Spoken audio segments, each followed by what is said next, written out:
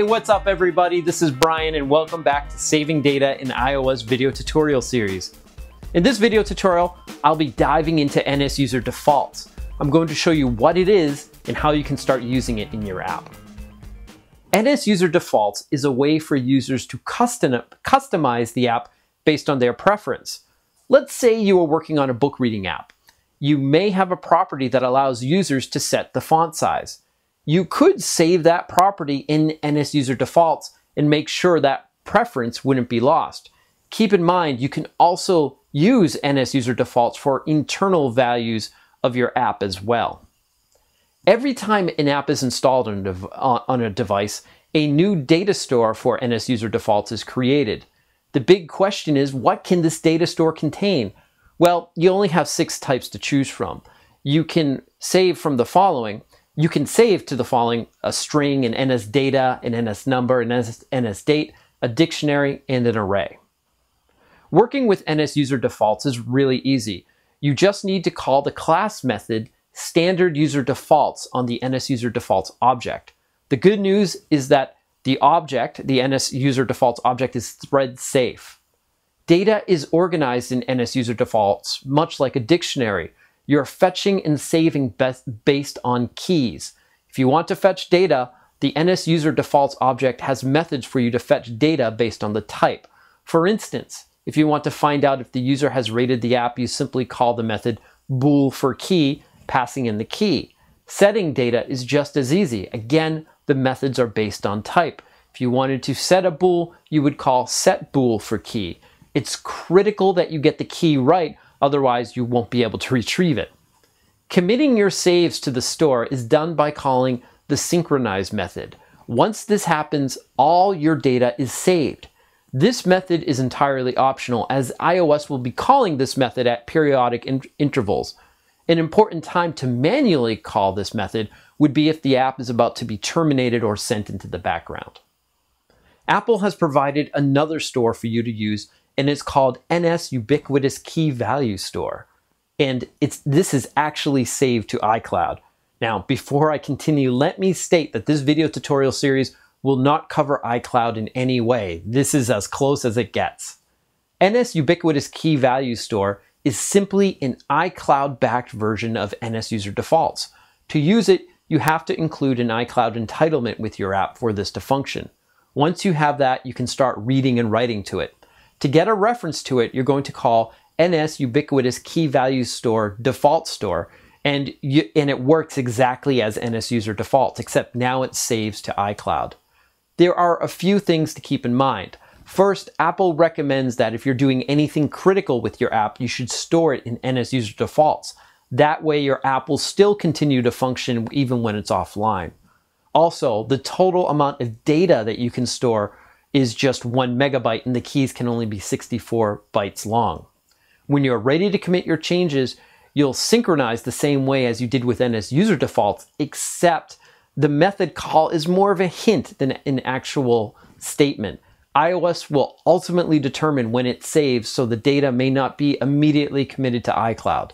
Finally, if there's any conflict with the current version to the save version on iCloud, then the latest change overrides the old, older one. In this demo, I'm going to be showing you how you can work with user defaults. And to do that, I've created a very simple app. I'm going to build and run this app, and you can see this simply takes a first name, a last name, a various mood, and an image that you can pick. When I select the image here, I can just choose a moment like so, and it will fill this in. Now, when I stop this app and rerun it, you can see that none of the data is saved. What I want to happen is that when the user taps the save button, it should save the data. And when the next time the user reopens the app, all that data should be displayed inside of the app. And the way we're going to be saving this data is by using user defaults. The first thing I'm going to do is fill out my save data IB action. To do this, I need to get a reference to my user defaults. And I can do this by simply getting the class NSUserDefaults and calling the static method on it standard user defaults like so. So the first thing I'm going to do is save the text fields.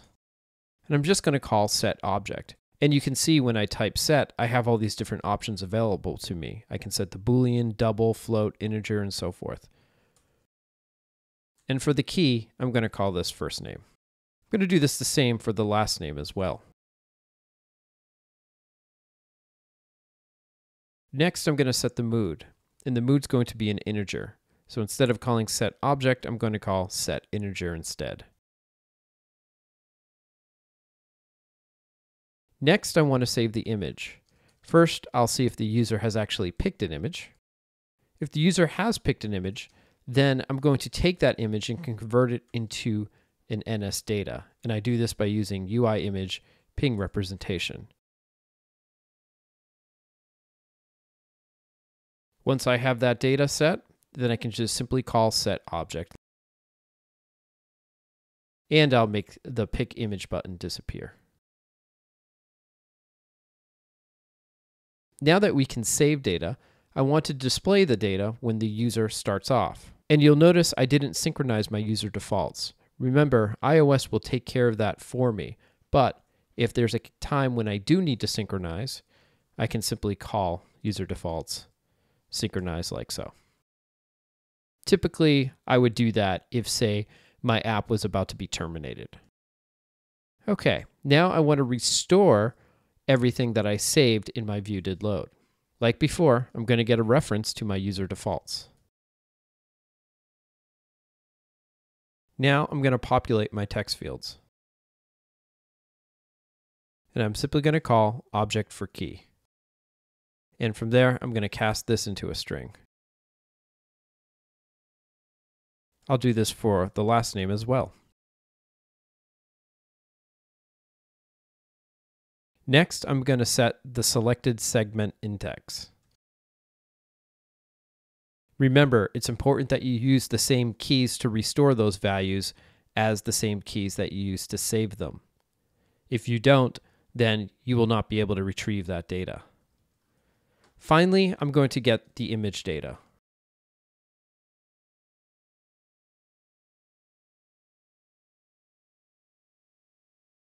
Once I have the image data, it's just a matter of creating a new UI image from it.